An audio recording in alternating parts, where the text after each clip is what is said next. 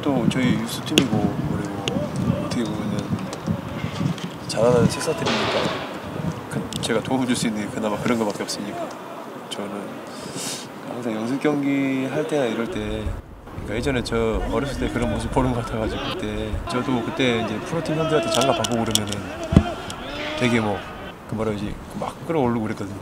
더 열심히 하겠다는 그런 생각도 들고 그래서 그 형들한테 배웠던 거를 그대로 하고 있는 것 같아요. 네, 그리고 우리 작년에 저도 아직 뛰고 있더라고요. 지금 유스팅 때 지금 뛰고 뛰고 있더라고요. 그래서 어, 자주 줘야겠다 생각도 들었고 그리고 장갑 저 후원해 주는 데서도 그런 부분에 있어서 약간 기부 형식으로 많이 도와주고 있어가지고 네, 그래서 더 후원할 수 있는 것 같아요. 네.